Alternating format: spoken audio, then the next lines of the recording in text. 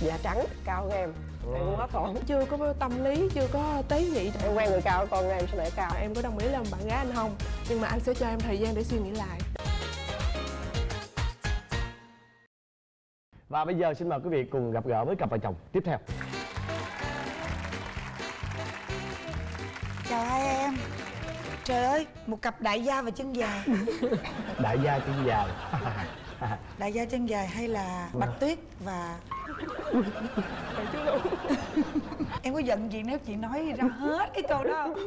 dạ hơn chị Không giận, đã, đã bước lên tới cái sàn này là không giận gì vậy Đúng, đúng, không? không? Nhưng mà dễ thương Ừ. Tuyết và một thôi chứ không phải là bảy À, Một chú ấy à, à, chú ấy mà là anh cả à, Dễ thương uh, quá hả? mời bà Tuyết giới thiệu về mình dạ em tên là Nguyễn Tuyết Tiên năm nay em 26 tuổi rồi Trời cái, cái cái tên này mà đọc dạ đúng rồi. Tiêu Còn em dạ em tên là thái đình khải. Năm nay em ờ, 30 tuổi. Dạ em ờ, đang làm nhân viên kinh doanh. Anh nhìn Khải thì anh đang có một cái ấn tượng và không biết là Tiên có ấn tượng giống như anh không à? Nhìn Khải không phải là cái dáng người thấp thấp bé bé đâu nghe mà nhìn ấn tượng rất là, là cái nốt nốt người duyên. Dạ đúng rồi. Cái khuôn mặt của Khải rất là có duyên. Ừ. dạ. Mặt em có duyên lắm. cái- Và quá trẻ so với cái số tuổi của em. Tiên à, Tiên có cái ấn tượng về Khải giống như anh Thuận lần đầu tiên em thấy được cái hình ảnh trên webcam á nhìn rất là phúc hậu cũng có vẻ đẹp trai nhưng mà chưa thấy rõ nút ruồi Vậy là hai bạn quen nhau qua mạng? Dạ đúng rồi qua yahoo chat đó Ờ dạ. Còn em? Dạ. Khi mà em thấy ờ, khuôn mặt của bạn gái em thì sao? dạ lúc đó thì em chat thì em ờ, chưa có xem được hình ảnh tại vì ờ, tiên lúc đó thì không cho em xem hình. Sau đó thì ờ, có một dịp đó là vợ em từ sa đéc lên ờ, long an để nộp hồ sơ mà xin dạy học ở trường long an á. Em mới nói là bây giờ thôi thì đón xe từ sa đéc lên ờ, bến xe miền tây. Rồi em mới chở từ miền tây lên ờ, long an. Thì lúc đó thì ấn tượng đầu tiên của em á, là khác xa với mình nghĩ tại lúc đầu thì ờ, em nghĩ là ở dưới ờ, sa đéc này kia thì anh nghĩ là nắng nôi thì ờ, người chắc cũng không có cao mà cũng không có đầy đặn mà lại da ngâm nữa em nghĩ vậy. Khi mà nhìn thấy thì em lại thấy là da trắng cao hơn em. Em hết rồi người cũng đầy đặn nữa. À, còn Tiên? Thì mình cứ nghĩ là anh cũng cao to to. Nhưng mà hả khi mà thấy anh rồi thì à, thấy anh nhỏ xíu còn. Ừ. mà lùn nữa. Em thấy ngại ngại tại vì em là người to con. Rồi thì bao lâu thì à, em mới bắt đầu có tình cảm với Khải lúc đó thì em thấy cũng có tình cảm với anh rồi Ừ. nhưng mà anh chưa tỏ tình sao mình bày tỏ được? Sau đó cái hai ngày thì cũng dịp đó là em đi thi thì anh cũng kêu em lên là, chở em đi thi vậy đó. Xong cái đợt về cái ảnh tự nhiên anh chở em ra công viên tàu đàn. Ờ mà cầm theo cái bọc gì ni lông màu trắng. Em cũng chẳng biết cái gì trong đó nữa. Xong thì ảnh mới, mới mới nói lời tỏ tình xong gỡ cái bọc ra thì em mới thấy là con gấu. Ảnh mới nói là ờ em có đồng ý làm bạn gái anh không? Ừ, thì em lúc này cũng định nói là à dạ em đồng ý. Chưa kịp nói gì hết. Ảnh nói mình sốc hết một câu. Anh nói nhưng mà anh sẽ cho em thời gian để suy nghĩ lại. Trời ơi. Em tức quá. Nghĩa là em bị quê.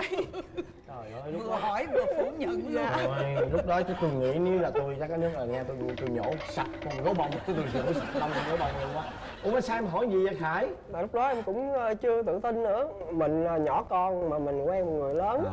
lớn hơn mình nữa rồi lúc đó là như thế nào? Hai ngày sau em mới trả lời ảnh. Em mới nói là thôi bây giờ ờ, vậy em sẽ suy nghĩ lại luôn. Rồi sau hai ngày sau em mới chấp nhận. Rồi từ đó là bắt đầu chính thức quen nhau. Dạ. rồi đến bao lâu thì hai bạn mới quyết định đi đến hôn nhân. Gần một năm rưỡi sau. Hai đứa có em bé chưa? dạ chưa. Chưa hả? dạ. Rồi ừm, sau khi mà lấy nhau rồi đó Có ờ, hòa đồng về mọi phương diện không? dạ không. Khắc thường khẩu xuyên lắm cãi giờ nhau. Cái đó là khắc khẩu. Rồi còn cái gì hợp mà cái gì khác? Hợp nhau là nóng tính giống nhau chị. Ờ hai người giống nhau Đã khắc khẩu mà lại nóng tính giống nhau Rồi. rồi sao ở chung chung được là nhờ ờ, hai vợ chồng cũng thương nhau. Cái đó là cái thuận đó, hai kia cái Dạ. khác rồi. Rồi ờ, bên gia đình mình á Có ai mà giống như thắc mắc hoặc là có ai mà giống như lấn cấn cái vấn đề mà cái ngoại hình của tụi em á chênh lệch? Cũng có bạn bè nói là sao em nhỏ con mà lại ờ, khoái ờ, kết hôn với người cao mình. Thì lúc em trả lời sao? Em quen người cao con em sẽ để cao. Trời ơi. à, cái đó là cái lý do thật lòng. Lý do thật lòng á. Tất cả là vì tương lai con em chúng ta. À. cái đó là cái điểm khôn của khải đấy. Còn em thì sao? Em thì thường mấy chị bạn làm chung vậy nói ủa sao chồng mày nhỏ xíu con vậy? Cái em nói em quen người nhỏ con thì không có gì đâu. Miễn hai vợ chồng thương nhau là được. Đúng rồi. Dạ. trong cái chương trình này của mình á rất nhiều những cặp vợ chồng son và mỗi người một cảnh mỗi người một vẻ. Trong cái chương trình này chúng ta gặp được hai cặp vợ chồng. Một người là Chênh cái lệch người về- lớn tuổi hơn. Ừ. còn một người lại chênh lệch về ngoại hình. Ngoại hình. Nhưng mà rõ ràng là tình yêu vượt qua tất cả mọi thứ. Và Đúng. tình yêu là không có cái giới hạn cho tuổi tác không có cái giới hạn cho ngoại hình. Ừ. cái điều cốt yếu trong tình yêu ở đây á là họ thực sự yêu nhau. Ờ bây giờ hỏi nè, lấy nhau về rồi em có phát hiện là ở Khải có cái gì đó nó bất ngờ rất là nhiều tính bất ngờ. Nhiều tính bất ngờ. Ví dụ? Đầu tiên là tính ảnh cọc tính mỗi lần ảnh nóng anh gây lên là ảnh quát. Giọng nhỏ xíu vậy quát ai nghe? Dạ quát lớn lắm đó chị. Khi mà giận là la lớn đâu rồi. em em thử giận thôi em thử giận thôi giờ mình giận không được. À, bây giờ chứ không hình dung là lúc em em em giận mà cái giọng em lớn được á? Giận lên em cũng hay la mà la lớn kìa. La nhiều khi mà em tắt tiếng luôn. Vậy á? Dạ. Thôi Trời ơi, không biết sao mà em nóng dữ vậy? Ờ không biết sao mà nóng dữ Tại vậy bởi vì nóng tính quá, bởi vậy người thun có chút béo rồi. Rồi sao nữa cưng dạ tính thứ hai là ảnh rề. Ảnh làm cái gì cũng lâu hết. Rề rà dạ Chậm đúng chạp. bừa bãi. Có chìa khóa xe mà mỗi lần ảnh đi là ảnh kiếm hết 5 phút đồng hồ. Ảnh quăng anh tủ lạnh quăng đủ thứ chỗ. Chắc cũng đạn trí chút xíu nè, không? nhiều khi em để đâu em cũng không nhớ nữa. Anh chỉ em cách này, có thể là em sẽ xỏ một cái công chỉ rồi em đeo Đó, đeo cổ luôn, đi ngủ cũng đeo, đi tắm cũng đeo luôn. Còn gì nữa không? dạ với lại ảnh còn vô tư với hồn nhiên quá ảnh chưa có tâm lý chưa có tế nhị trong cái cách mà thí dụ như xử sự giữa mẹ với lại vợ Còn gì nữa không? Dạ có một tính nữa đó là khi cãi á, thì ảnh hay móc họng em á. nói chuyện những câu móc họng không mà mà sau đó thì gài em có nghĩa là em ý em không phải như vậy nhưng mà ảnh cho ý mình là xấu như vậy gài hàng đó Dạ, đúng không? rồi, gài nói chuyện móc họng mà gài hàng đó. Dạ. Ủa, sao nhìn Wow. nhỏ, nhỏ sao nhiều tật xấu dữ ta? rồi trong những cái tật xấu đó cái điều mà em muốn chồng em bỏ là cái gì? Cho em chọn tính một cọc thôi. tính. Thế còn em thì sao Khải?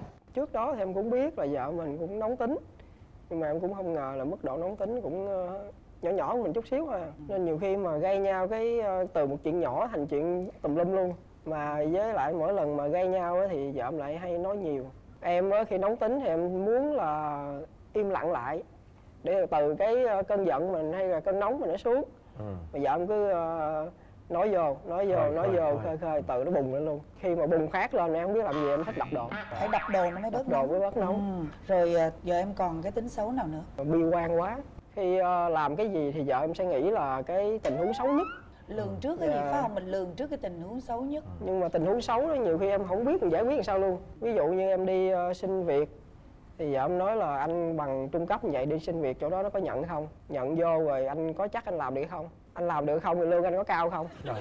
rồi ờ, lương anh vậy đủ chi phí ờ, xăng cộ xe xe này kia đi làm không rồi ờ, đi làm vậy thì ờ, có nhậu nhẹt gì không? Trời rồi mấy cái đó em không ngàn trả lời. dạ đúng rồi. Không? dạ cái đó em nản luôn. Trời ơi, đúng rồi, không nản sao được, trời ơi. Ừ. Lo xa, Rồi. xa thâm thẳm luôn á.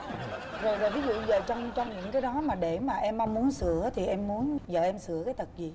Dạ, cái đó thì còn chưa bằng cái này. Có cái tật là lúc nào cũng bắt em làm liền hết. Nhiều khi mà có ba bốn việc cần làm mà em thì ờ, làm theo thứ tự thì không theo ý của vợ em. Đó thì hai người lại bắt đầu gây nhau thì cái đó em muốn muốn vợ em sửa lại là tính là cái gì cũng phải sắp xếp theo một cái trình tự nhất định để mình làm. Không cần bỏ cái tật nóng đúng không? Và tật nóng em trị được Ờ, vì em nóng hơn đúng không? Thực ra bây giờ hai bạn chỉ cần bổ sung cái điều này cho nhau là tự nhiên sửa được hết. Em làm việc có trình tự có cái kế hoạch trước đi thì chồng em sẽ bớt nóng. Tại vì nãy giờ nguyên nhân là do là làm việc không có trình tự mà bắt làm liền làm liền liền rồi anh anh rối.